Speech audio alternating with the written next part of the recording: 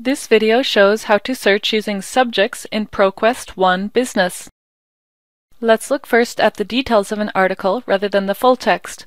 The main benefit of searching with subject headings is that you are finding results where these have been determined by a real person to be the main subjects of that article. Here's an article where social responsibility is one of the major topics, as well as brand image, marketing, etc. You may notice on this page that there are many types of subjects. Some articles have only general subjects, most have some business-specific subjects too, others will have industry or corporation subjects, so we can search across all these types by going back to the Advanced Search screen. If you remember seeing a really relevant business subject in a prior article, enter that in the box and change the drop-down menu from searching anywhere to search the main subject. I also recommend this Look Up Business Subjects option to browse their preferred search words, like if I didn't remember what term they preferred for corporate social responsibility, I can enter that in the Find box, and it tells me that they prefer social responsibility. Click on that term, and it'll tell me broader, narrower, and related terms, which can give me more ideas.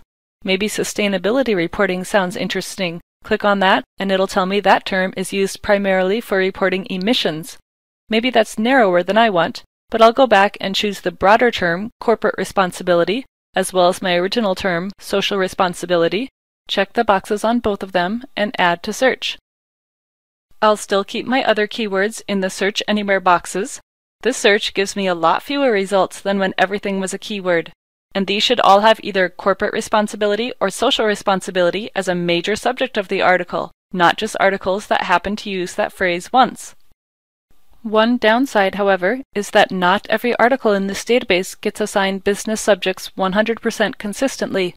So if you are getting surprisingly few results with your business subject search, you can also use one or two of these subject terms, but as a general subject instead. Back in this advanced search box, change the dropdown from main subject to be just all subjects. Now you should get a few more results because it's also picking up results like this one.